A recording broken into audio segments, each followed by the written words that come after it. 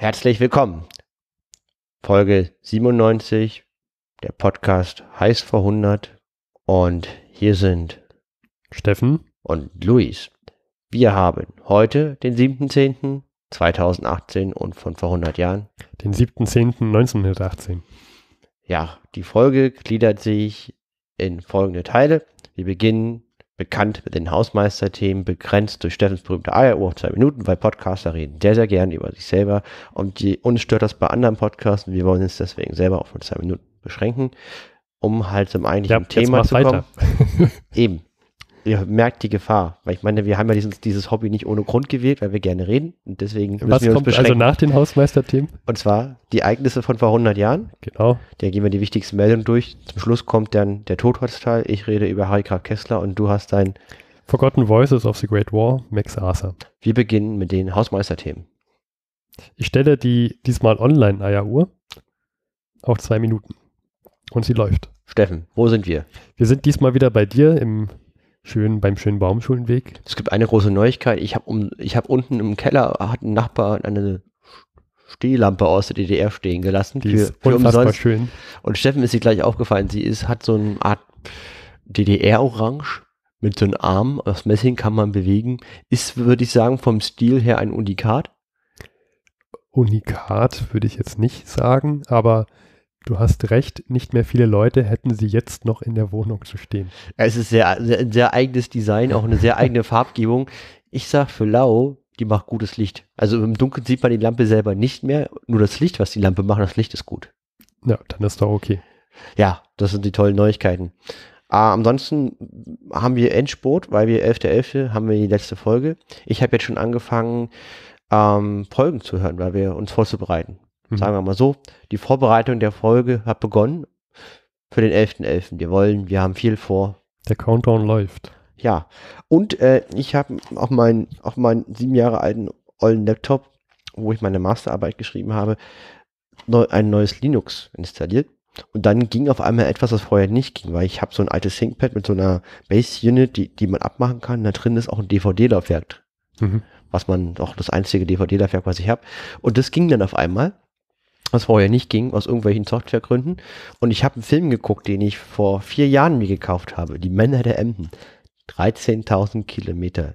Die wahre Geschichte einer unglaublichen Odyssee. Ich habe vor vier Jahren in einer der ersten Folge über die Emden auch geredet und gesagt, dass ich den Film habe. Ich habe ihn nicht gucken können, weil dieses DVD-Laufwerk nicht ging. Und- jetzt habe ich es gemacht. Und ist der Film gut zu empfehlen? Ähm, das machen wir gleich nach den Hausmeisterthemen, weil ich Okay. finde, das ist für mich nicht mehr Teil der Hausmeisterthemen. Willst du noch die Zeitangabe? Nicht alle Leute wissen, wann du deine Masterarbeit ungefähr geschrieben hast. Also wie alt ist dein Computer ungefähr? Der ist von 2011. Damit sind auch die Hausmeisterthemen vorbei. Dann, ja, du hast den Film gerade in der Hand, Luis. Wenn du jetzt über den Film sprechen möchtest, dann kommen wir mal wieder zu einem Vorhundert Filmteil. Haben wir lange nicht mehr gemacht. Mhm. Ist eine Produktion für den öffentlichen von der ARD und ZDF. Die Männer der Emden. Ja. 13.000 Kilometer. Ähm, geschichtlicher Hintergrund, die Emden lag in Tsingtao, als der Krieg ausbrach und ist dann in den Indischen Ozean gelaufen. Mhm. Unter anderem um auch das Geschwader, was halt dann unter Gneisenau und Scharnhorst über den Pazifik gefahren ist, zu den Falklandinseln. Das war so ein großes Geschwader, da gab es auch zwei große Seeschlachten. Und um das zu verschleiern, wurde die Emden alleine als kleiner unabhängiger Kreuzer in den Indischen Ozean geschickt, um dort Schiffe zu versenken. Ah ja. Mhm. Das hat sie sehr erfolgreich gemacht. Ja. Die Engländer wussten auch gar nicht genau, wie viele Schiffe das eigentlich gab, ewig. Und es war in den Medien damals total wichtig. In, allen Medien war dieses kleine Schiff, das war total bekannt. Und die haben Schiffe versenkt in der Prisenordnung. Das heißt, die Leute wurden verschont und wurden irgendwo ausgesetzt. Dadurch wusste man auch mal sehr gut über das Schiff Bescheid. Und ähm, die, die, die Presse hat das auch genutzt, so eine Geschichte erzählt von so einem ehrenhaften Krieg, wo keiner stirbt, ist auch ein auch nicht so schlecht für die englische Propaganda, weil klar, mit den Schiffen ist verblöd, aber da stirbt keiner. Ist eine schöne Story, die man Mhm. gut verwursten kann und die, wo man auch Leute begeistern kann für den Krieg auf beiden Seiten, finde ich. Also auch für die, weil da stirbt ja keiner. Ist ja gut, wenn man Leute braucht, die nie an mir eintreten. Ja? Und ähm, die Emden wird irgendwann von einem australischen Kreuzer überrascht. Mhm. Dieses Schiff ist der Emden haushoch überlegen, waffentechnisch, und die versenkt das. Bevor aber das Schiff versenkt wurde, wurde durch Zufall ein Kommandotrupp von 50, 60 Leuten auf die Insel gesendet, um eine Funkstation zu zerstören. Und zwar unter Leitung des Kapitänleutnants von Mücke. Ja, der ist auch noch Begriff. Ja, und der war halt auf dieser Insel und dann, als die auf der Insel waren, erscheint dieses andere Schiff aus Australien, versenkt die Emden, Emden kaputt und die müssen das mit angucken und die bleiben auf dieser Insel. Und überlegen sich, Kacke, was machen wir jetzt? Haben aber diese Funkstation ja anscheinend. Die haben sie kaputt gemacht. Achso. Ist ja auch eine die- englische. Die, die war, ah, achso, die haben die Funkstation kaputt gemacht, der Mücke und, und so. Und Ich die dachte, sind, ich dachte, sie wollten selber jetzt eine errichten, aber okay. nee, die wollten die kaputt machen. Mhm. Sind jetzt mitten im Indischen Ozean irgendwo. Ja, und äh, ja, das war's halt. Da, da gibt's auch keine deutsche Eine Eine Einrichtung oder irgendwas. Und ähm, die haben eine abenteuerliche Reise hinter sich.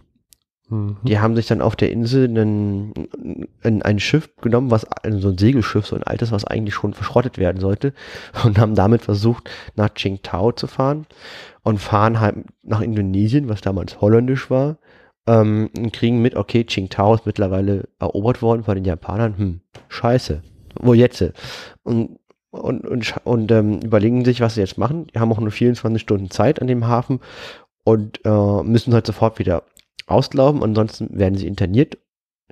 War so eine, so eine, so eine, Und so eine Regelung so eine, anscheinend. ja, so eine Regulierung. Ne? Neutrales Schiff, äh, neutraler Hafen, ein Schiff einer kriegsführenden Nation darf anlegen, darf aufgetankt werden, muss aber wieder sofort wieder weiter. Mhm.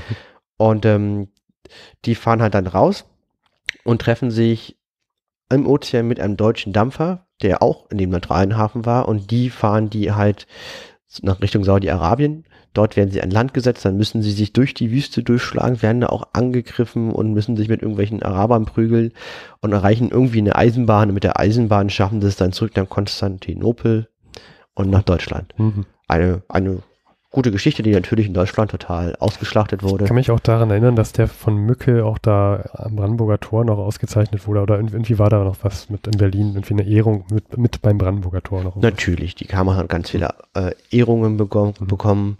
Ähm, die Hälfte dieses Trupps stirbt im Verlauf des Ersten Weltkrieges dann in irgendwelchen Kriegsschauplätzen, was Mhm. auch sehr viel ist. Ähm, und Mücke überlebt das, ist hoch dekoriert. Interessanterweise später äh, stellt er sich gegen die Nazis und wird äh, auch zum Pazifisten. Ja, Ah, sehr, sehr Mhm. interessant. Das ist jetzt so ganz grob die Geschichte. Ich werde ein, zwei Sachen verlinken dazu, für die, die das interessiert. Und äh, der Film erzählt halt versucht, ich sag versucht, eine ARD-Produktion, gut gemacht, also gute Schauspieler und Geld haben sie auch gehabt. Das kann man gucken, optisch, schöne, schöne äh, Kostüme. Und der erzählt diese Geschichte nach. die komplette Geschichte von Tsingtao bis ähm, sie kommen im Deutschen Reich an oder Ja, genau die. Also der Film, erste Szene ist in Qingtao und die, das ist ganz witzig, die trinken, ähm, äh, essen so Schweinshaxe und, Hm. und äh, deutsches Bier, was, was auch im Film erwähnt wird, hier vor Ort gebraut wird. Ja. Wir wissen ja, Qingtao ist das meistverkauftes Bier in China, China heute und äh, gibt es an jeder Ecke und das ist halt aus der Stadt, weil die Deutschen da eine Brauerei gegründet haben. gibt es auch hier in Berlin in so ja asiatisch ansprechenden Restaurants. Und auch Qingtao war das deutsche Hongkong, haben wir auch ein paar Mal gesagt. Das wurde halt, die Deutschen wollten auch in Hongkong und China war schwach und dann haben die dieses, diese Stadt für 100 Jahre gepachtet bekommen und dann haben die sehr viel Ressourcen reingesteckt, äh, um so eine Art Modellkolonie zu entwickeln, um mit dem einzigen Ziel nachzuweisen, den deutschen Herrschaftsanspruch auf die Welt mit zu untermauern. Also es hatte jetzt keine wirtschaft- wirtschaftlichen Hintergründe und haben da eine ziemlich große Stadt hochgezogen. Mhm. Mit einer krassen Klassengesellschaft, mit wenigen tausend weißen Herrschern und mehreren hunderttausend chinesischen Leuten, die ja rumdienern und rumschergen mussten. Hm. Ähm, Nochmal zum Film zurück. Äh, hatte ich jetzt eher gestört, die, äh, also hatte ich jetzt so gestört wenige Fakten oder waren es eher so eine Art äh, Dialoge, die dich gestört haben oder war es eher, man hat sich darauf beschränkt, möglichst viel Krieg und Gewalt zu zeigen oder was, was hat, dir- also was hat dir da gefehlt Liebe. zum Also- Detail? Ja, Hm. Liebe für das, für, für das eigene Kunstwerk. Ähm, also der Film hatte Geld, hatte sehr gute Schauspieler und wie auch damals mit den Filmen über Fritz Haber, Ja, ja. wurden halt mit Absicht, das sind alles, alles Profis, ähm, das Drehbuch wurde halt mit Absicht nach einem bestimmten Schema konstruiert, um halt der Meinung nach ein, dass der Erschaffer einen bestimmten Geschmack beim Publikum zu treffen. Es gibt, wie gesagt, sehr gute Beispiele, wie zum Beispiel Downton Abbey bei BBC, die es genau richtig machen. Und das ist halt aus meiner Sicht halt schiefgelaufen, weil der Film versucht sehr, sehr viel. Du am Anfang ist halt ähm, da diese Szene, wo sie da in Qingtao sind und nach Frieden ist und dann natürlich mitten im Fest bricht dann der Krieg aus. Der Film wird aus der Ich-Perspektive von einem Leutnant erzählt, also nicht von, von Mücke selber, sondern von Mhm. einem anderen Offizier, der drunter steht, unter diesen von Mücke und die ganze Reise mitmacht, was ich für eine sehr gute Idee halte. Ja, er kriegt halt beide Seiten mit, sowohl die eher ähm, niedrigeren Hm? Männer vom Dienstgrad her, aber auch die Entscheidungen von Mücke. ist natürlich auch verliebt und ver verlobt sich dann geheim dann in Qingtao. Auch das macht alles total Sinn. Ist auch schön, eine Mhm. Idee, das einzubauen. Und dann wird halt diese Geschichte erzählt. Von Mücke wird auch sehr gut dargestellt. äh, Von einem, der halt bestimmt ist, die Leute nach Hause zu kriegen. Und es gibt auch mehrere gute Szenen, wo auch gut gezeigt wird, dass die Leute, Männer irgendwann keinen Bock hatten. Aber er motiviert sie noch weiterzumachen, weiterzumachen, Mhm. nicht aufzugeben und zu sagen, wir müssen hier versuchen zurückzukommen. Wir können jetzt hier nicht einfach internieren lassen. Unser, unser, alles steht auf dem Spiel. Die halten da ihre, äh, die tragen ihre Haut zum Markt und wir sollen jetzt hier vier Jahre lang Bananen essen gehen. Nee, Mhm. wir versuchen nach Hause zu kommen. Ja, eben weil es schwierig ist. Das ist alles gut gemacht. Leider hat der Film noch andere Handlungsstränge, die einfach keinen Sinn machen. Ja, zum Beispiel ähm, vor Ort dann in, wenn sie dann eintreffen in Arabien, dann ist da natürlich ähm, Sibel Kekeli, ist eine relativ bekannte deutsche Schauspielerin, die war auch bei Game of Thrones dabei. Und die Figur macht für mich überhaupt keinen Sinn, weil die ist dann halt da, spricht natürlich perfektes Deutsch, eine Deutsch-Türkin im echten Leben ähm, und bietet dann an zu übersetzen. Die wird einfach mitgenommen und dann, dann, dann wenn die da überfallen und Sepel Kekili äh, da sozusagen als arabische Frau nimmt dann eine Knarre und schießt dann da rum und, und aber diese Figur hat gar keinen Sinn. Die hätte man gar nicht einbauen müssen. Hm. Die ist halt ein bekanntes Gesicht. Gerade vier, vier Jahre in der Vergangenheit war sie sehr bekannt, auch in den Medien. Deswegen ist sie da halt auch drin, weil sie halt auch Aufmerksamkeit auf sich Hm, zieht. Okay. Ähm, aber die hat, das, es gibt auch so einige andere Sachen. Das, das ist nicht, mit- nicht mit Liebe zu Ende gedacht. Das ist einfach mit Absicht Ja. schlecht gemachtes Drehbuch, wie so oft bei ZDF-ARD-Produktionen. Also ich stelle mir das halt auch schwierig vor, weil das ist ja auch eine, eine, als du jetzt sagtest, dass der Film probiert alles darzustellen, von, vom Anfang bis zum Ende, also vom Start bis zum Ziel, sage ich mal. Ja, das, wie lange geht der Film? Der geht auch zwei Stunden zwölf. Zwei Stunden zwölf, Ja, ja. gut, das war, das war die zweite, das war die Zweiteiler-Edition, halt im Fernsehen. Okay, aber auch das, also Das, Das kann man halt- ja machen. ist halt aber auch immer schwierig, weil du am Anfang noch sehr viele Ideen hast, die bist sehr verliebt und am Ende ist es halt ein Werk, das muss einem, das muss zu Ende produziert sein und das muss halt irgendwie fertig werden. Und wenn du da so viel rausnimmst, das ist aller die Waldfee. Aber es gibt so viele gute äh, Sachen. Man, ich finde, man, man kann es doch vereinfachen. Zum Beispiel wie beim Gladiator oder mit Russell Crowe oder Master und Commander ist auch ein sehr, sehr schöner, schöner Film mit Das Russell Crowe. Hat, hat mich auch ein bisschen an Masters und Commanders erinnert. ja. Und das ist auch eine ähnliche Geschichte. Hm. Auch mit zwei Männern und äh, um ein Schiff und Kampf und auch eine Reise um die ganze Welt und der ist halt gut erzählt. Hm. Ähm, also weil, die, weil einfach ne, man nehme nur Charaktere, die Sinn machen in der Geschichte, die einen Mehrwert generieren Ja. und die, wenn sie fehlen, auch den Film aktiv schaden. Die, die, die, die, die Figur der Säbel Kekeli zum Beispiel, für, nach meiner Auffassung, hätte, wenn die gefehlt hätte, hätte ich eine halbe Stunde kürzeren Film gehabt, der besser gewesen wäre. Und das wäre halt, und das ist eine gute Schauspielerin. Ich, ich will sie nicht sagen, dass sie das schlecht gemacht hat. gut. Das Drehbuch ist halt kacke. An schlechten Figuren können ja die Schauspieler auch nichts. Ne? Ja, eben. Das ja, Und das, warum? Warum? Ich frage mich, warum. Das, also, weil, weil halt die, die, die Schau, weil die, das, das, das ist, das klingt so ein bisschen wie danach, wir haben uns diese Story rausgesucht, weil für jeden etwas drin ist. Ne? Du, hast ein, du hast Schifffahrt dabei, Ja. du hast Motivation dabei, so ein bisschen Heldenepos auch. Du hast so ein bisschen Arabien drin, du hast China drin, du hast äh, ja. Türkei drin und dann Deutschland auch noch drin. Du kannst von allem was zeigen, dann kannst du da noch zeigen, wie toll die Deutschen sind äh, früher. Nee, überhaupt nicht. Natürlich immer der erhobene Zeigefinger, historisch korrekt. Ach so. Äh, ja. Okay, dann kannst Also du aber erste- das zeigen. Die erste Szene ist natürlich, ähm, wie die da essen und die Chinesen bedienen die halt und die ja, so kann das ja hier nicht weitergehen. Ach, ich weiß nicht. Also aus, ich, ich finde die Aussage aus der Sicht von 1914 hm. dumm, weil hm. das ging schon 500 Jahre so. Warum soll das jetzt nicht so weitergehen? Das habe ich nicht verstanden. Hm. Aber das bin wieder ich mit meiner Spezialansicht. Ähm, auch die Endszene, der Hauptheld versucht dann nach Schweden auszuwandern, weil er keinen Sinn mehr in den Ganzen sieht. Das hat für mich auch gar keinen Sinn gemacht. Das ist auch überhaupt nicht überliefert. Also das habe ich, das hat, das habe ich in, in dem Drehbuch auch übernommen. Klar kann man das machen, dass der dann an den Sinn des Krieges äh, zweifelt. Aber, aber die Geschichte, es geht um die Männer der Emden und die haben wirklich ein, ein, ein Husarenstück verbracht da aus dem Indischen Ozean mitten im Krieg nach Hause zu kommen. Und ich finde, das ist eine Geschichte, die ist groß genug, dass die in einem Film erzählt werden kann. Und der ganze andere Scheiß kann weggelassen werden. Hm. Ja. Und das mit der Liebesgeschichte kann man machen. Dann ist ja am Anfang da diese, diese Trauung und zum Schluss heiraten die halt. Ist doch okay. Aber darum geht der Film nicht. Der Film geht um diese Geschichte von diesen Männern. Und deswegen gucke ich so einen Film. Und ich vermute mal, die meisten Leute auch. Und der Film ist aber für Leute gemacht, die halt zufällig vom Fernseher hocken und irgendeinen Film sehen. Oh, irgendwas mit Booten. und, und, und, für solche Leute, die überhaupt nicht, also die zufällig, weil sie gerade immer die Flimmerkiste anhaben und da kommt der Film rein, ja. die würden sich jetzt nicht aufregen, weil sie auch nichts erwartet haben. Aber, aber jemand, der gezielt sich diesen Film aussucht, weil er sich dafür interessiert, über was dieser Film geht, hm. der kann damit aus meiner Sicht nicht glücklich werden. Und dann hat der Film seine Aufgabe verfehlt. Ja, aber das hätte ja auch gehießen, du hättest mehr so einen dokumentarischen Charakter Nein, erwartet. Master und Commanders im Ersten Weltkrieg hätte ich erwartet. Ah ja, okay. Ist auch schwierig, an den Film ranzukommen, glaube ich, aber es ist möglich.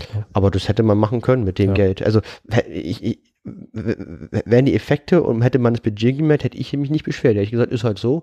Die haben, ist halt kein Hollywood-Kino, aber man, dieses Drehbuch ist ja nicht vom Geld abhängig. Ja, ja. Ist auch die Frage, äh, welche, welche Dinge, welche Stationen nimmt man mit rein. Man kann ja auch was rausnehmen. Manchmal tut sich ja, als Autor tut man sich ja manchmal schwer, gewisse Dinge rauszunehmen aus so einer Story, aber man muss sich dazu auch mal trauen. Einfach weil die Story kürzer wird und dadurch wieder der Spannungsbogen ein bisschen, bisschen besser ähm, gespannt werden kann. Ja, ähm, man hat ja auch so viele spannende Fragen, auch viele spannende Fragen wurden nämlich gestellt. Ich meine, die Geschichte von Vermücke, dass der später Pazifist wurde, wird hier nicht thematisiert. Wenn ich jetzt das. Der, das ist dann der dritte Teil. Und, und auch der, auch der, sein, sein Kind stirbt im Zweiten Weltkrieg, hätte ich auch spannend gefunden. Und, und er legt sich auch mit den Nazis an und die wollen ihn auch ja nicht besetzen im Zweiten Weltkrieg und so viele andere Sachen. Und auch dann regt er sich dann auch nach dem Zweiten Weltkrieg auf, dass viele Nazis einfach übernommen wurden. Und klar, das ist ein großer Bogen, aber ich finde, der historische Stoff ist so gut, dass man den einfach ernst nehmen kann und sich nicht mhm. nur irgendeinen Scheiß einfallen lassen muss, der keinen Mehrwert bringt. Okay, ich höre jetzt auf. Thema erledigt. Also Luis ist unzufrieden mit dem Film. Aber ähm, ich habe mir gekauft, ich habe mich jetzt nicht geärgert, es gibt Schlimmeres. Gut. Ähm, auf einer Skala, ähm, jetzt nicht von 1 bis 10, sondern wir haben ja damals, ich glaube in Folge 20 oder so. Äh, ich habe es gerade gehört, Folge 25. 25, Clara immer war. Ja. Der, der Film um Fritz Haber. Der war furchtbar, das war eine 5. Das war eine 5. Schulnoten. Schulnote. Und, und jetzt im Vergleich dazu der Emden-Film? Ne, ist eine 4 plus. Okay, also schon leicht besser. Okay, na gut. Gut, dann würde ich sagen, das war der Filmteil. Vielen Dank, Luis. Ja. Und dann kommen wir zum nächsten Teil im Vorne Podcast. Kommen wir zu den Meldungen aus der Zeit von vor 100 Jahren. Ich würde anfangen. Ja, der, gerne. Der Nachfolger von Kühlmann, Paul von Hinze, hat eine Denkschrift verfasst ich glaube, du musst nochmal sagen, wer Kühlmann war und wer ist Paul von Hinz. Also welche Position hat er jetzt? Genau, beide haben oder haben jetzt das Amt des Staatssekretärs des Äußeren inne. Es gab keinen Außenminister, es gab generell keine Minister in der Zeit von vor 100 Jahren, es gab Staatssekretäre und das war sowas wie heute das Minister und der war der Außenminister. Mhm. Der hat eine Denkschrift verfasst und zwar er sieht die Gefahr einer wirklichen Revolution, wie die französische oder wie die in Russland, mhm, mhm, und man müsste dem entgegen mit einer Revolution von oben, sprich es geht ihm um eine Demokratisierung im Deutschen Reich. Ja, das fordern ja auch schon seit Jahren einige, ja, mhm. von links natürlich. Und ich kann mir das schon vorstellen, so, so ein Weltkrieg, man hat es in Russland gesehen, mhm. letztes Jahr dass sowas ja ganz schnell gehen kann, dass wenn das Volk äh, sich, ja, äh, wenn das Volk sehr leidet mhm. und auch vor allem Hunger leidet, jetzt wie auch das Volk im Deutschen Reich, dann kann es mal ganz schnell ungemütlich werden, so in der Heimat. Und dann können ganz schnell Politiker gestürzt werden. Und anscheinend denkt er sich jetzt, wenn wir selber dem vorbeugen und sozusagen dem Volk entgegenkommen, dann könnte es vielleicht nochmal sein, dass das Volk damit besänftigt wird. Ähm, diesen, diesen, also jetzt, jetzt könnte man ja sagen, das ist jetzt der, der Staatssekretär des Äußeren, der das sagt. Ähm, jetzt gibt es natürlich auf der anderen Seite noch den Kaiser und die oberste Heeresleitung, die ja auch sehr viel mitzusprechen haben, mhm. da gerade im Deutschen Reich. Wie sehen die das denn so? Wären die da, würden sie sowas befürworten? Oder ich, ich kann mir ja vorstellen, dass der deutsche Kaiser gerade eher keine Demokratisierung möchte. Dass genau. er sich genau. jetzt querstellen würde. Weil der müsste definitiv Macht abgeben. Demokratisierung bedeutet ja, dass das Parlament, der Reichstag, dass der Reichstag mehr Macht mhm. bekommt. Und das ist ja, irgendwo muss die Macht ja herkommen. Die muss ja jetzt eine haben. Und die hat ja, die liegt jetzt beim Kaiser. Und die OHL, glaube ich, hat eher Interesse an einem starken Kaiser, weil der einfacher zu kontrollieren ist, ja. als so ein unberechenbares, pa unberechenbares Parlament, wobei das mhm. jetzt meine Meinung ist und kein, keine Beleg, kein belegbares Wissen. Ja, das kann ich mir aber auch ganz gut vorstellen, so wie die oberste Heeresleitung ja so drauf ist. Aber interessanterweise, also dieser, äh, ja, diese Denkschrift von dem Außenminister bzw. Staatssekretär des Äußeren kam am 28.09. und nur zwei Tage später mhm. kommt der, also tritt dann auch der aktuelle Reichskanzler ähm, vor den Kaiser und möchte gerne zurücktreten. Also sagt dem Kaiser, dass er jetzt auch gerne zurücktreten möchte. Und am gleichen Tag verfügt dann sogar der Kaiser Wilhelm II., dass er ähm, ja, Änderungen am System vornehmen wollen würde. Ähm, und zwar zu einem parlamentarischen System im Deutschen Reich. Starkes Stück. Ja. Und das Stärkste haben wir noch gar nicht erzählt. Also zwei Sachen. Ähm, ich würde sagen, wir haben ein kleines Ü-Ei und ein großes Ü-Ei. Mhm. Das kleine Ü-Ei wäre, dass Bulgarien einen Waffenstillstandsvertrag mit Großbritannien und Frankreich schließt. Ja, ich finde das eigentlich schon ein ganz schön großes Ü-Ei, aber im Vergleich zu dem anderen ist es natürlich klein. Ja. Normalerweise würden wir eine ganze Sendung nur darüber machen, weil das ja. Bulgarien aus den Mittelmächten austritt, ist natürlich ein starkes Stück. Ähm. Die Verbindung zwischen Deutsches, dem Deutschen Reich und dem Osmanischen Reich ist damit massiv gefährdet. Ja. Und ähm, auf die Verbände in Österreich, von Österreich, Ungarn und Deutschland ist natürlich jetzt äh, wesentlich mehr Druck, wenn die Bulgaren, die auch eine Armee in der Größenordnung von einer halben Million unter Waffen hatten, mhm. raus sind. Das größte Ü-Ei liegt darin, dass die OHL in Spa in, äh, in, in Belgien, das ist eine Stadt, die heißt so, SPA, fordert die Herausgabe eines Friedensangebots an die Alliierten und außer, außerdem den Rücktritt der Regierung unter Georg Graf von Hertling. Ja, krasses Stück. Ähm, so, wie kommt es dazu? Wir haben ja schon die letzten Wochen in vor 100 immer wieder gesagt, dass es im Westen zu massiven hm? Rückzügen hm? des hm? deutschen Heeres kommt. Und ähm, man, also man, man zieht sich nur noch zurück. Und hm. die äh, Entente-Mächte kommen immer weiter voran. Mhm. Klar, also man hatte immer noch diesen Strohhalm aus dem Osten, mhm. dass da, da ja ganz viel Nahrung, sage ich mal, ähm, vielleicht auch andere Güter ins Deutsche Reich überführt werden können. Aber das rückelt jetzt auch immer mehr, es bricht jetzt auch immer mehr zusammen, dieser Gedanke, mhm. dieser Strohhalm, der knickt langsam, der ist schon abgelutscht. Und ja, jetzt kommt die oberste Heeresleitung in Spar mhm. und fordert auf einmal Friedensangebote. Ähm, Weil sie sehen, dass die militärische, militärische Lage ausweglos ist. Ja, ist auch interessant. Ähm, und also ein Friedensangebot, ähm, es kamen ja so einige Friedensangebote. Also wir können uns da zum Beispiel vorstellen, die Briten, mhm. die Franzosen und die USA sind ja so mit die mhm. drei größten Parteien den, bei den Entente-Mächten.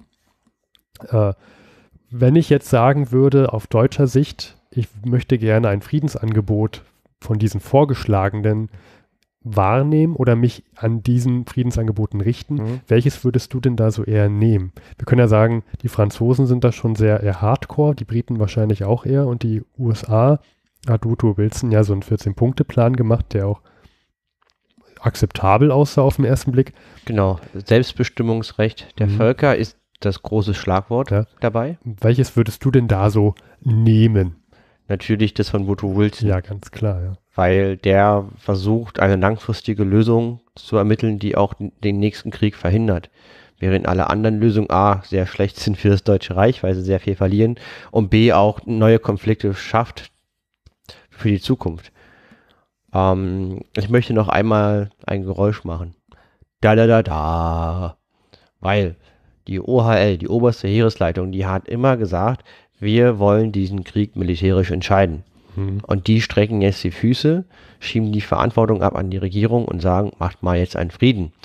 Wir können das, was wir selber gesagt haben, was wir immer machen, nämlich einen militärischen Sieg nicht verwirklichen.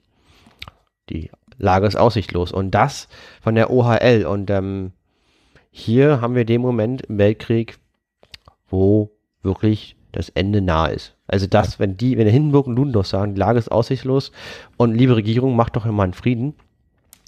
Ja, und Regierung tretet auch zurück. Ja. Das ist eine Zeitenwende. Starkes Stück. Und ähm, wir haben ja gesagt, der, dass der Reichskanzler sein Rücktrittsgesuch vorstellt und es wird auch ein neuer ernannt, das ist dann der Prinz Max von Baden und der kommt dann nämlich genau am 3.10. Mhm. Ähm, 100 Jahre später ist es äh, Tag der deutschen Einheit.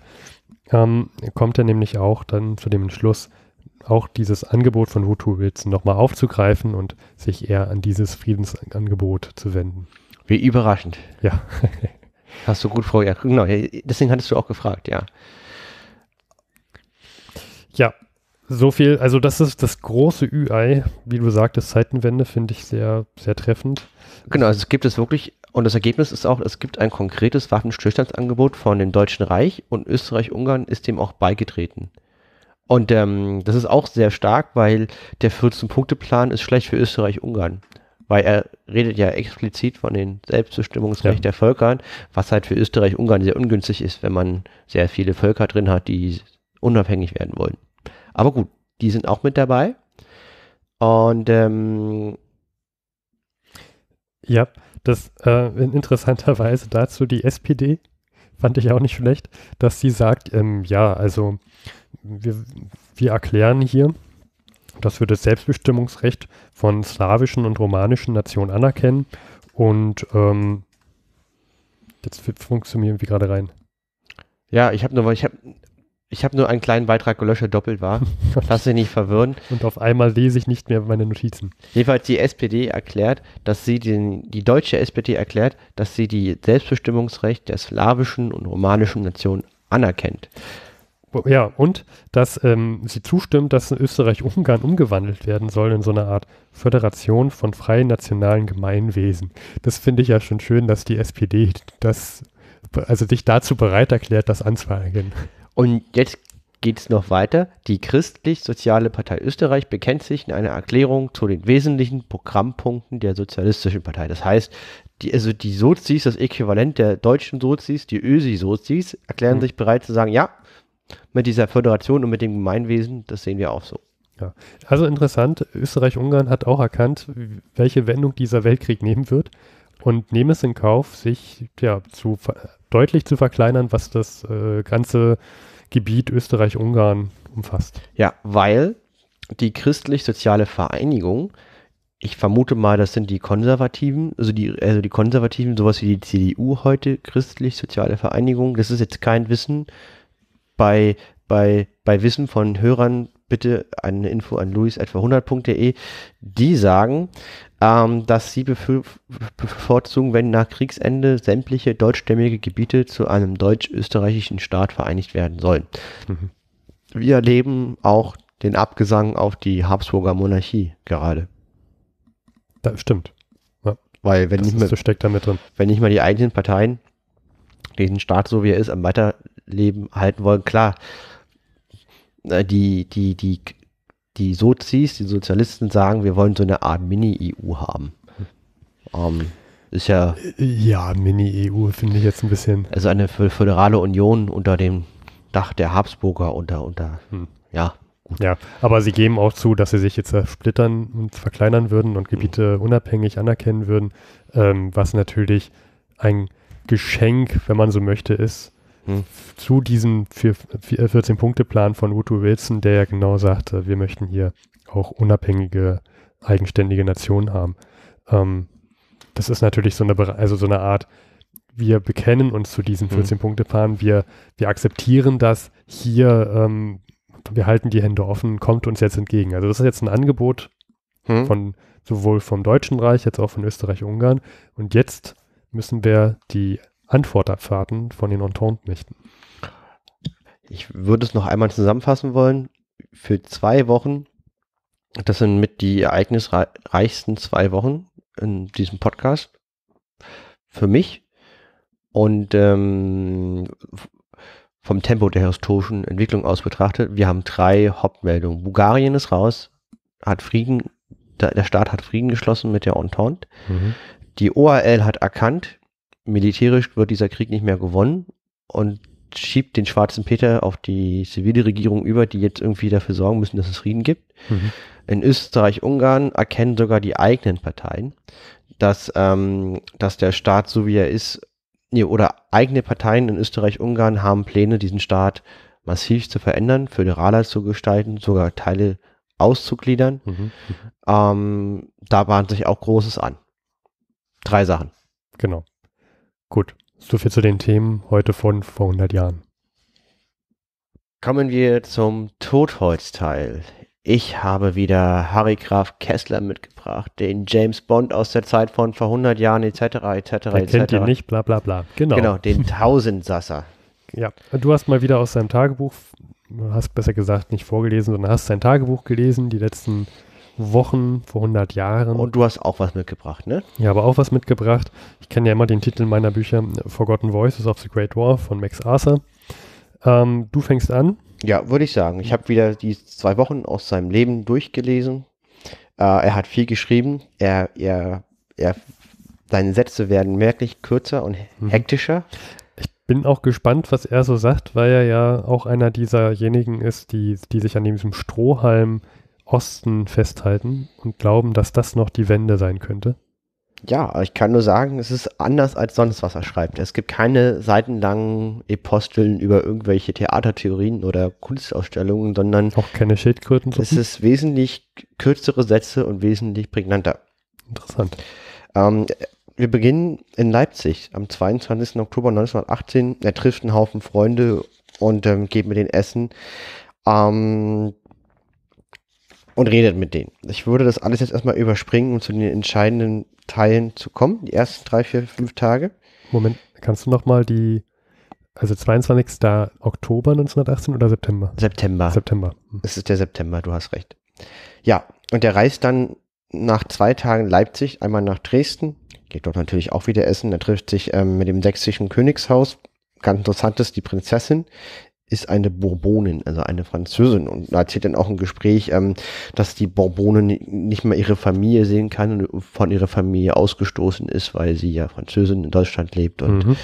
ähm, auch ein sehr interessanter Aspekt, den ich aber auch überspringen würde, weil er fährt dann nach Berlin, trifft sich in der deutschen Gesellschaft und ähm, trifft sich mit dem Unterstaatssekretär Müller, SPD-Mitglied, und der sagt, Trübsal überall. Zitat. Die Türken vernichtet, die Bulgaren durchbrochen, die Westfront im kommenden Jahr vor der Übermacht nicht zu halten. Er schreit wie alle nach einem wirklichen starken Mann, der regieren soll. Eigentlich sollte man meinen, dazu hätten wir die Monarchie. Zitat Ende. Ja. Das ist eine sehr schöne Harry Graf Kessler Stelle. Ist äh, wieder mal so ein verstecktes, äh, versteckte Kritik seinerseits. Ähm, das ist aber, das Thema zieht sich durch. Ähm, Leute sind unsicher, sie spüren, dass es schlecht ist und sie wünschen sich eine neue starke Führung. Und eigentlich wäre das die Aufgabe genau eines Kaisers. Dafür hat man ja so jemanden, so einen Staatsoberhaupt, der in, in Krisenzeiten der Nation Halt gibt. Das ist ja der Mehrwert von der Monarchie für mich und schnelle Entscheidungen trifft und eine Strategie vorgibt, dass man handlungsfähig bleibt. Ja, Das wäre für mich jetzt ein Mehrwert von der Monarchie. ja, es ist halt immer die Frage, ob bei so einer Monarchie ja aus, aus bestimmten Gründen kommt ja, kommt ja der Nachwuchs an die Spitze. Ob der halt so geeignet Und ist. ob der immer, ob der Nachwuchs immer die passendste Wahl für die Leitung Hm. wäre, andere Frage. Das ist wieder das Problem der Erbfolge. Ja. Mehrwert ist wiederum, man hat keinen Bürgerkrieg, ansonsten prügeln sich alle, wer der neue König wird. Und das ist Das so verlustreich, dass sich im Lauf der Geschichte die Erbfolge einge... Ja, hat. ja, wir müssen jetzt nicht das Prinzip von verschiedenen Formen besprechen. Wir schweifen ab. Monarchie oder Parlament oder so weiter. 27. September, Zitat. Der bulgarische Ministerpräsident hat bei fortschreitender bulgarischer Niederlage an den Führer der gegen Bulgarien operierenden Entente-Truppen das Angebot eines Waffenzustandes gemacht. So, das ist es. Das ist das, was wir auch berichtet hatten. Mhm. Ähm, Schreibt da auch keine Wertung rein, ja. äh, die Lage ist noch unklar. Ähm, er sagt angeblich, war das eine Einzelhandlung und man ist sich noch nicht ganz sicher, ob es eine Einzeltat war und die haben noch die Hoffnung, also hier ist er noch relativ ruhig, dass man die vielleicht nochmal umstimmen kann. Mhm. Weil, und jetzt springen wir zum 30. September, mehrere Seiten übersprungen, äh, und äh, folgende Aussage, Zitat. Kritischer Tag erster Ordnung, Wendepunkt für Preußen, für Deutschland, vielleicht für die Welt. Hertling ist gestürzt, also der aktuelle Reichskanzler, mit ihm Hinze und das ganze hergebrachte preußische System. Hinze war der Außenminister. Seit Jena keine solche Umwälzung. Zweitens, im, in Frankreich im Einzelnen hält sich unsere Front. Im Großen in Bulgarien ist sie seit gestern durchbrochen. Die bulgarischen Unter Unterhändler sind in Saloniki eingetroffen. Beides umtost von der gewaltigsten Schlacht des Krieges. Blutdunst und ungeheures Krachen der Geschütze, in dem wieder einmal das alte Preußen untergeht wie 1806. Der Kaiser hat an Hertling einen Erlass gerichtet, indem er seinen Entlassungsgesuch annimmt und dann sagt, ich wünsche, dass das deutsche Volk wirksamer als bisher an der Bestimmung der Geschicke des Vaterlandes mitarbeitet. Es ist daher mein Wille, in Klammern klingt nicht sehr demokratisch, mit Ausrufezeichen, das hat Harika Kessler geschrieben, dass Männer, die vom Vertrauen des Volkes getragen sind, im weiten Umfange teilnehmen an den Rechten und Pflichten der Regierung. Das soll bedeuten, nicht nur die Demokratisierung, sondern auch die sogenannte Parlamentisierung. Mhm. Sehr viel auf einmal. Das war jetzt diese Ja. ganzen Hauptsachen. Ich finde, das, was da, also wie der Kaiser zitiert wurde, ich finde, das ist eine geschickte Formulierung vom Kaiser. Hm. Ne? Also er könnte sich jetzt auch hinstellen und zu sagen, ähm, wir verlieren den Krieg, wir brauchen demnächst eh eine andere Staatsform. Hm. Ähm, daher sage ich jetzt schon mal, dass wir was ändern. Nein, er formuliert das anders. Als sein Wille. Das heißt, Ja. er setzt sich ja auch wieder an die Spitze. Das ist so ein bisschen Merkelismus, den er da betreibt. Ja, okay. Ähm, kann man auch so bezeichnen, wenn man möchte. Ja.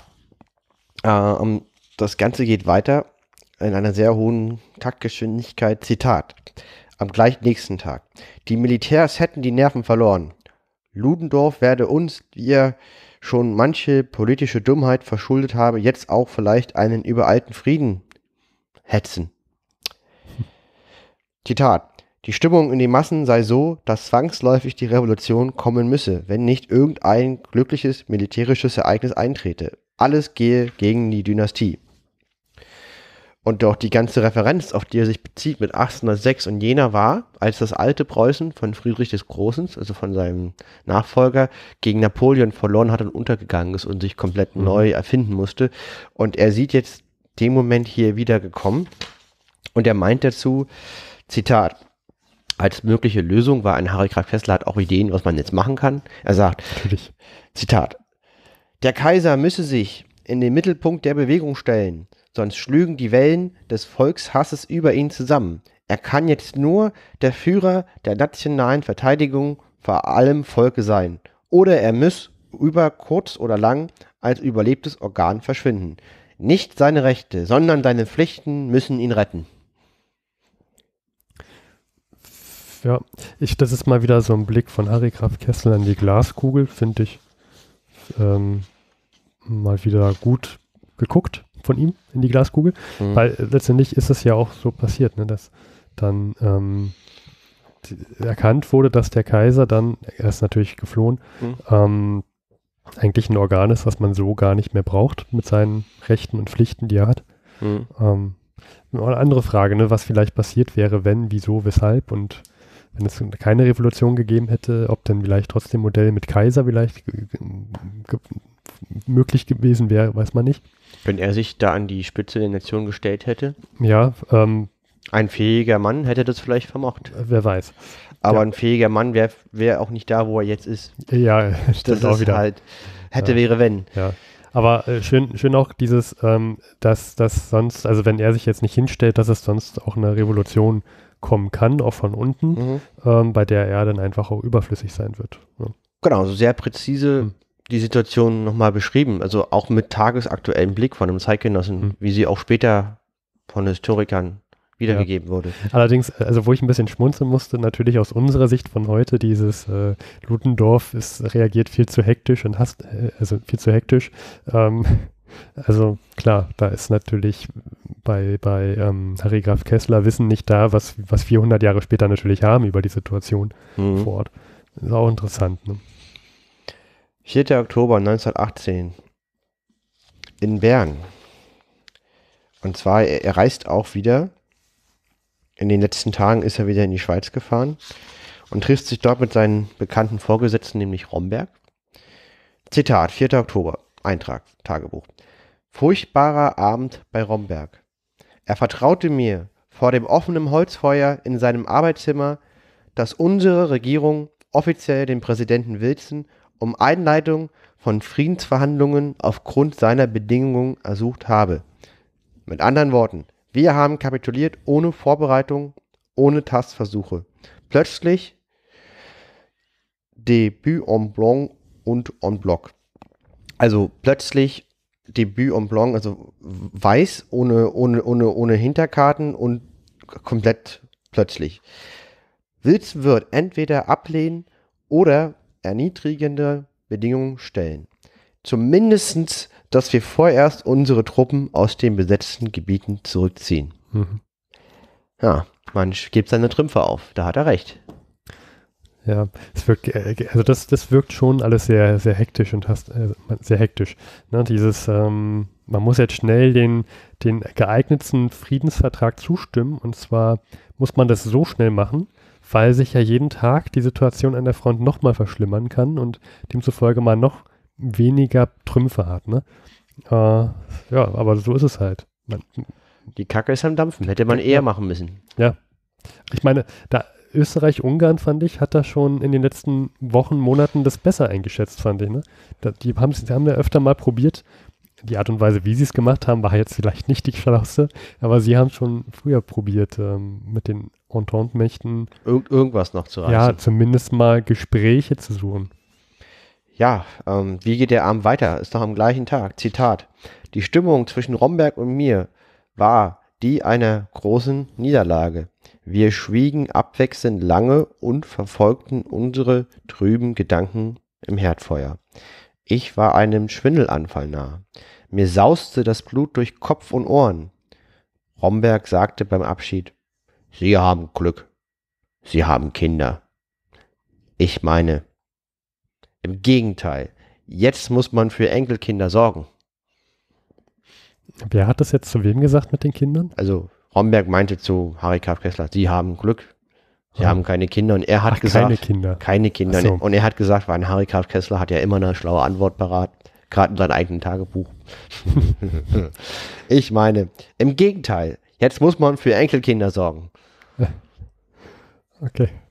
Ähm, wie, wie wertest du da seine, seine Antwort? Äh, Er sagt, dass das kein Grund ist, glücklich zu sein, sondern dass man sich für die nächste Generation ähm, jetzt äh, zusammenreißen muss, um halt das Ja. zu retten, was zu retten ist. So würde ich das jetzt lesen. Hm. Ja, schon mal so in die Zukunft. Also ich sehe das so ein bisschen, dass man jetzt schon mal an die längerfristige Zukunft gucken muss. Und dass man jetzt trotzdem nicht aufgibt, sondern irgendwie versucht, weil man an die Hm. na nach nachfolgende Generation auch denken muss. Also dass quasi vielleicht die, die Kinder die Kacke jetzt geerbt kriegen, aber dass wenigstens die danach noch was reißen können und dass man jetzt trotzdem zusammenhält, weil es geht ja, ja noch weiter. Ja, so könnte man es auch. Ich werde nicht so ganz schlau aus dem Spruch, muss ich sagen, zugeben, aber ja, so kann man es sehen. Ja. 5. Oktober. Äh, ähnlich apokalyptisch, Zitat. Der schwärzeste Tag des Weltkrieges. Das Waffenstillstandsersuchen Österreichs, Deutschlands und der Türkei an Wilson steht nachmittags an einem Telegramm des Wiener Korrespondenzbüro an den Anschlagzeulen, an denen so oft deutsche Siege gestandet haben. Der Krieg ist für uns verloren, nach unserem eigenen Eingeständnis. Wilson wird von uns als Weltdiktator angerufen. Wir akzeptieren von vornherein alle von ihm bisher genannten Bedingungen. Eine neue Epoche der Geschichte hebt an zu unserem Ungunsten. Da, da hört man Frust raus.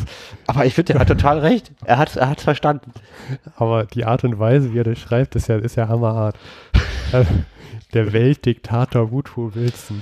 Ja, aber er hat ja recht. Ne? Ich meine, die, die, die, die Rechten an ihn sagen, ja, wir nehmen alles an und, und, und, sind jetzt von ihm völlig abhängig.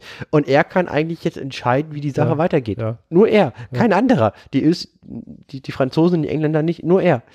Ich finde das sowieso ganz schön interessant, was für eine, was für eine Stellung da eigentlich die USA haben. Ja, die sind ja schlagartig und vorher waren die eben nicht da. Die waren ja die, die, haben sich ja ewig rausgehalten, wollten auch, glaube ich, nicht so richtig. Nur gut, dann kam der uneingeschränkte U-Boot-Krieg und April 1917 kam ja dann die, also so spät erst die äh, ähm, Kriegserklärung ans Deutsche Reich.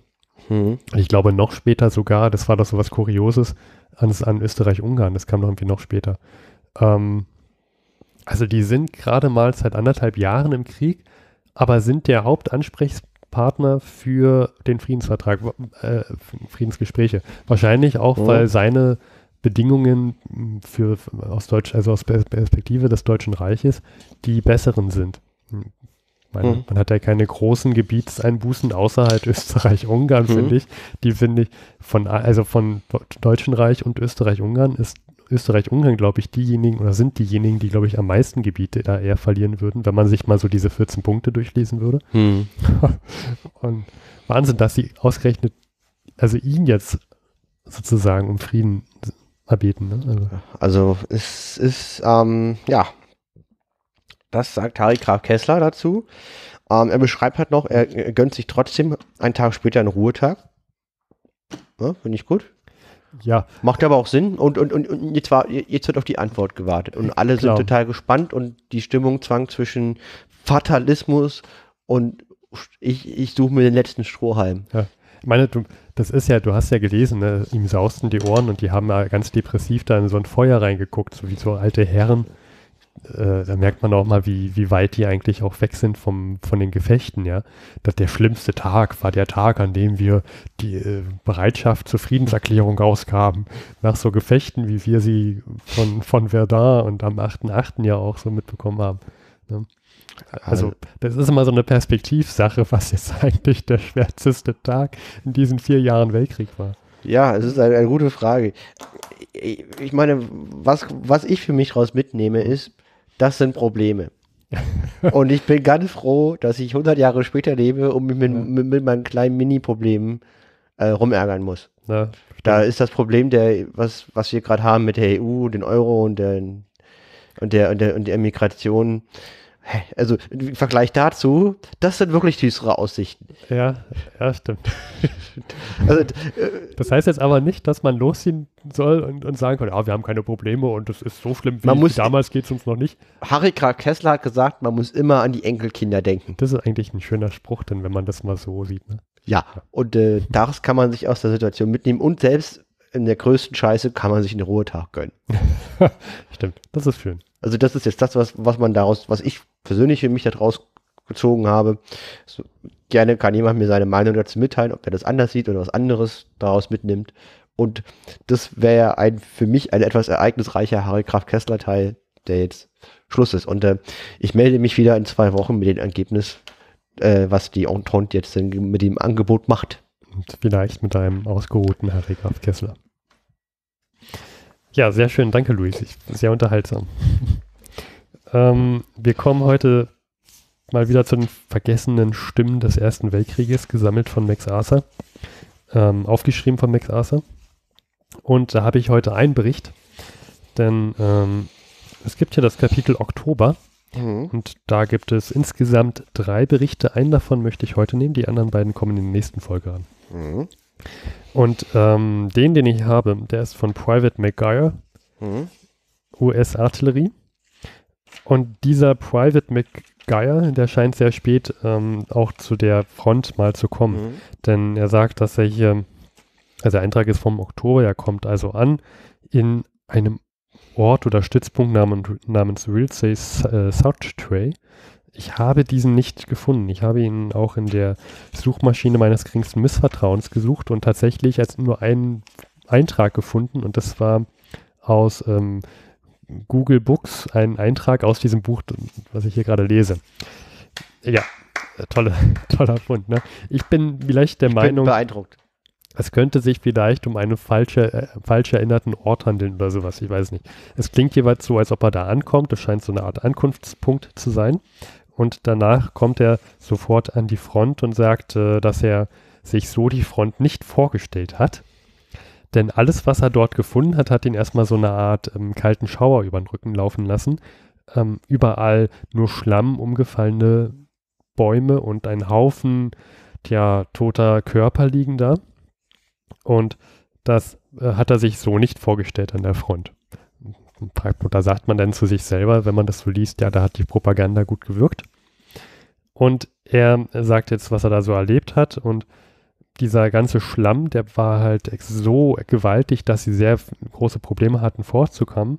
Und sie hatten sich an der Front positioniert mit ganz großen ähm, Kanonenwaffen, die sie erstmal durch diesen ganzen Schlamm ähm, bewegen mussten. Da haben ihnen dann irgendwelche Transporter anscheinend auch geholfen. Und damit man mal so ein Gefühl bekommt, wie groß so eine Kanone war, die Geschosse für die Kanone waren 200 Pfund schwer. Das ist schwer. Ja. 100 Kilo, roundabout.